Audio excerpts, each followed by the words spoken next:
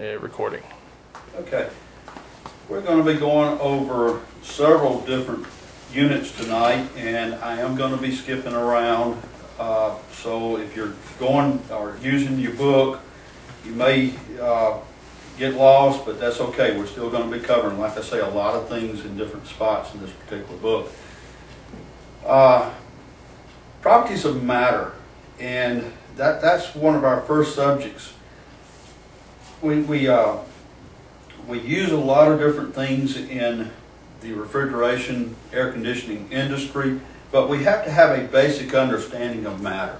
We have to have a basic understanding of the properties of a solid, a liquid, and a gas. Now, as we go through this, some of this is going to seem very, very, if you will, basic. I need to cover it anyway, okay? And that when I say very, very basic, let's, let's, let's take an example of, of the properties of a solid. A book, for example. How is gravity, gravity exerted on a book? It pulls it down, right? The force of gravity is only in one direction. Whereas a liquid, a liquid has forces that will pull it down and outward. Gravity is only pulling it down, but the liquid will take the shape of a container. Okay, a gas. How is a gas? Where, where are the forces at on a gas? Everywhere. Yeah, all directions. Think of a balloon. It's pushing on all the surfaces of the balloon. Now, I know that, like I say, that sounds very basic, but we need to have an understanding of that to be able to understand how refrigeration works. Now, some of the things that you need to go over, I'm not going to go into any, any real detail with them, but weight and mass, uh, volume, standard conditions, uh, specific volume, density, it can get pretty complicated and you don't really need to get that deep into it, but you need to have a basic understanding. Y'all know what that is that we're talking about? This is a scary word. Physics. The natural science, if you will. Things that we're going to focus on is boiling and condensing points, freezing points, things such as that, but you still need to have a basic understanding of that. Now, in this industry, we do have to understand types of energy and some of their properties. Now, you have potential and kinetic energy, and we'll talk very briefly on that, like I said.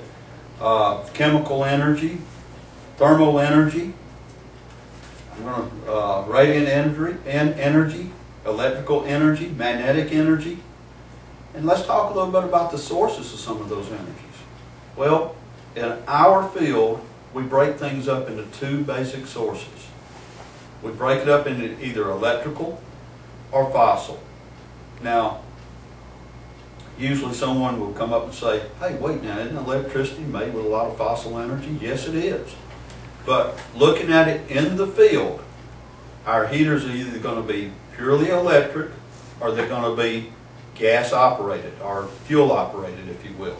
So we're, looking at those two basic things. Now, not to say that that's the only type of energies that we will see in the field because there is a lot of emphasis put over other type of energies such as radiant energy from the sun for solar powered things nowadays some of the alternate energies that are coming into play we're seeing more and more of the other sources being used which is definitely a good thing because fossil fuels are very limited on uh, their availability, especially in the future years.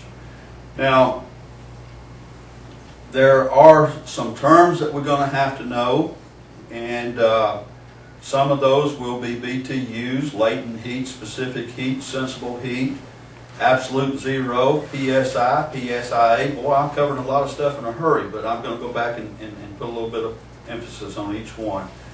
Watts, kilowatts, uh, on the electrical side of things.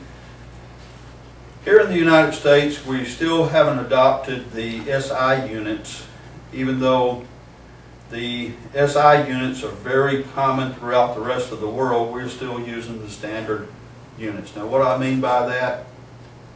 Well, good example, Fahrenheit and centigrade. We still use pretty much Fahrenheit everywhere that we're around. Uh, Centigrade is more uh, in the scientific area of, of this nation, but uh, you will find that centigrade would be used worldwide, not just in America. Whereas Fahrenheit is probably more common in America than it is any other place. But we want, like I say, I don't want to get off on that too much. I want to get on into some of the basics of the uh, HVACR um, field. Now, heat is something that you're going to have to understand and how it moves. What is heat? If you had to give a definition of heat, what would it be? How about the absence of heat is cold? In other words, we can't say something is cold, we can only determine how much heat something has. Everything has heat unless it is at absolute zero. Absolute zero, if we were using some different scales, scientific scales, if we were using the uh, Rankine scale, for example, it would be 400, or, or in centigrade, I mean, excuse me, I'll get it right here. In Fahrenheit, it would be minus 460 degrees.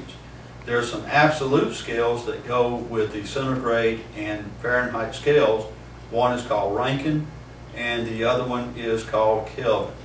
Kelvin, I believe, would be uh, minus 273 degrees if it was uh, converted back to the um, centigrade scale. Absolute zero, that's when all the molecular motion stops. Have we ever hit that temperature? No, but we've come awful close. Liquid helium, when it boils, is at approximately two degrees absolute. That's in uh, Rankine. Uh, no, no, it's not. It's not Rankine. It's uh, Kelvin, two, two degrees Kelvin. Um, that's pretty dang cold. I don't know any other way to put it. That's pretty dang cold. But you got to remember, we're going to be moving heat. We're not making cold. We're simply moving the heat away from an object or to another place. Okay, we definitely need to know how to measure temperature. There's several ways to measure temperature. We can either do it with uh, some of the instruments that we have today would be such as a infrared um, instrument that would actually pick up the infrared that's, that's being transmitted off of a substance. Another is we can actually use uh, thermocouples and don't forget the old glass uh, thermometer. Glass thermometer still can be used. Of course, you know what happens with a glass thermometer if it gets dropped. It's very, very sensitive, but it is still a vital part of temperature measurement. Now, I want to move a little further and talk about the way that heat moves. Heat moves in three different methods. It moves by conduction, convection, and radiation. Okay, conduction is pretty easy to understand because that's when the heat moves from molecule to molecule through the, through the material. If I had a copper pipe and I ask you to hold that copper pipe and I put a torch on the other end of the copper pipe, eventually you're going to let that copper pipe go. Because even though I'm only heating that other side, the heat will travel through it to the point that where your holding is going to get warm. That's, that is through conduction. Convection is a little bit harder to understand because convection is where you have the heat moved by another substance, transferring the heat from one substance to another. Good example of that, if I had a heater on this side of the room, and it wasn't a radiant heater, just a regular heater, well it would heat up the air, the air would circulate through the room and be able to heat objects on the other side of the room through the transfer of heat from it, that is the air, to the other object. So that is a form of convection. Most of our units that we see with fans in them, like the one in here, that is a form of a convection type uh, furnace or air conditioner. Radiation. Radiation is pretty easy to understand. If you're standing in the sunlight, you know that you're going to get warmer than if you're standing in the shade. Pretty simple, it moves through the waves, if you will, through, of radiation. Um, One thing to keep in mind, when, when dealing with radiation, it's not just sunlight. You can actually have radiation, heat radiation from an object, whether it's uh, glowing or not. A lot of times people think of something glowing, and it doesn't have to glow. But you can actually have heat radiated from a wall, a warm window, or, or a, a uh, light. Light's a good example of radiation. These lights are actually giving off heat right now. Okay. Um, Let's talk a little bit about something that you've been around probably all your life, but probably never put that much emphasis on, and that's pressure. Now, we're actually living at the bottom of an atmosphere that has weight. The weight at sea level of the air above us is approximately 14.7 pounds. Okay. Think of a fish at the bottom of the ocean or near the bottom of the ocean. That fish is going to have the pressure of the ocean around it. But it doesn't crush the fish, just like the atmosphere doesn't crush us. The reason being, it is our environment. We're, we are living at the bottom of a sea of air. Any, any way you look at it, we gotta have it, but it is a pressure.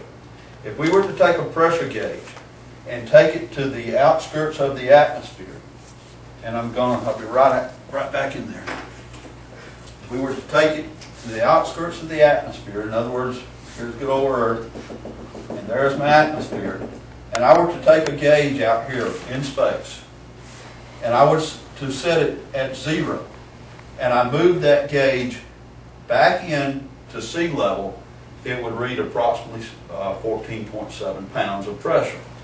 That is the weight of that column of air above it.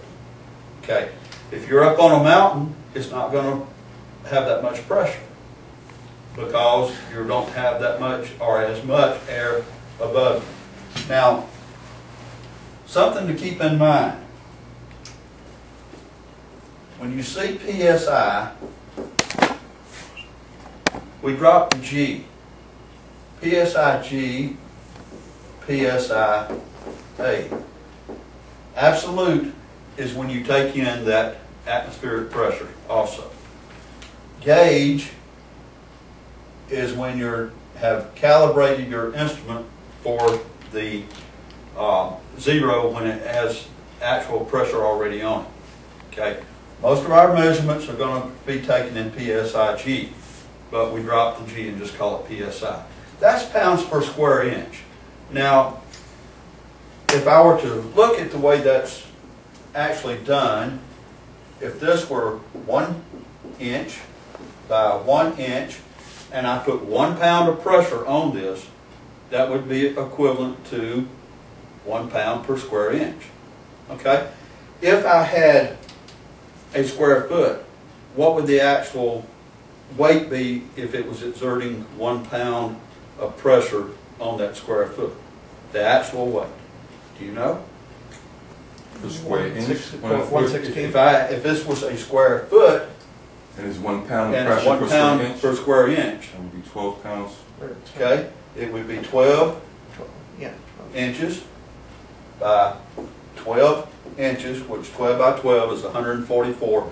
You would actually have hundred and forty-four pounds of pressure. Yes. Not pressure, but hundred and forty-four pounds exerted on that square foot. Okay, keep that in mind. Have you ever thought about how in the world an automobile that has thirty pounds of pressure in it holds up a car that may weigh fifteen hundred pounds? If you look at the surface of the tire, that gives you a better understanding how it works. So, when you see one pound of pressure, we don't usually think about it being a whole lot of, uh, of energy, a whole lot of weight, or anything of that nature. But believe you me, if it's all released at one time, it is. And you would see that, okay? So when we're dealing with pressures, keep in mind that even though the number may not seem high, there is a lot of energy that may be there. All right. Now, this is a little bit